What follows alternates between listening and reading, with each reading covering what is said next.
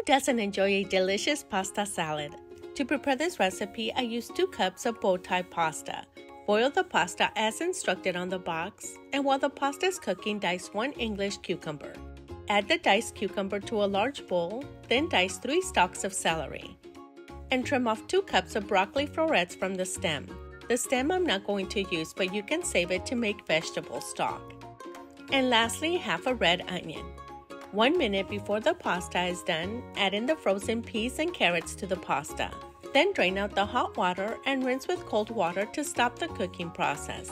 To prepare the dressing, combine mayonnaise, white wine vinegar, olive oil, lime juice, and salt and pepper. Pour the dressing over the vegetables, then add in the cool and drained pasta and mix everything together. Try this quick and easy recipe for your next meal and experiment with your favorite vegetables based on what you have on hand. And enjoy!